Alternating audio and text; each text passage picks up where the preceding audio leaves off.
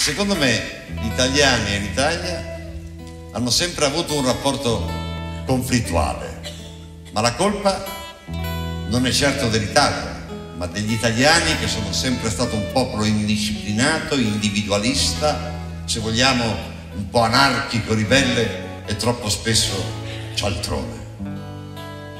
Secondo me gli italiani non si sentono per niente italiani, ma quando vanno all'estero li riconoscono subito.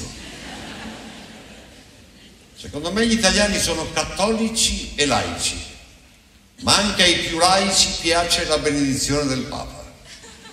Non si sa mai. Secondo me gli italiani sono un po' aggiornati e un po' confusi perché non leggono i giornali.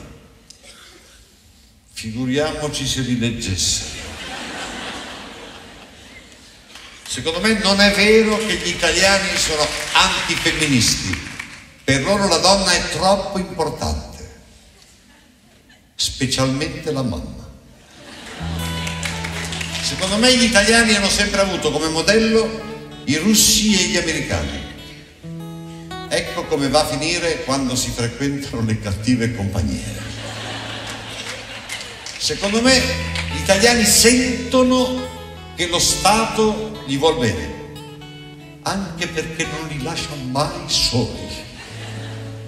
Secondo me gli italiani sono più intelligenti degli svizzeri, ma se si guarda il reddito medio pro capite della Svizzera, viene il sospetto che sarebbe meglio essere un po' più scemi.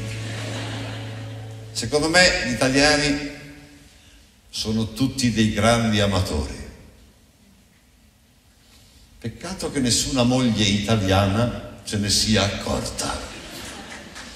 Secondo me gli italiani al bar sono tutti dei grandi statisti, ma quando vanno in Parlamento sono tutti statisti da bar. Secondo me un italiano quando incontra uno che la pensa come lui fa un partito. In due è già maggioranza.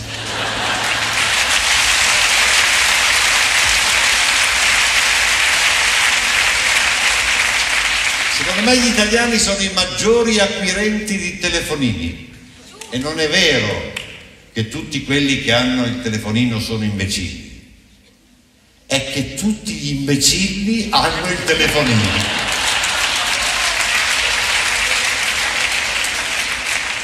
Secondo me gli italiani non sono affatto orgogliosi di essere italiani e questo è grave. Gli altri invece sono orgogliosi di essere inglesi, tedeschi, francesi e anche americani. E questo è gravissimo. Secondo me gli italiani sono i più bravi a parlare con i gesti e quando devono pagare le tasse fanno. Italiani, popolo di combattenti, l'ha detto Giosuè Carducci. Italiani, popolo di pensatori, l'ha detto Benedetto Croce. Italiani, popolo di eroi, l'ha detto Gabriele D'Annunzio.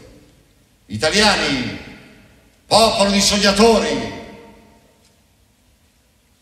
l'ha detto Gigi Marzullo.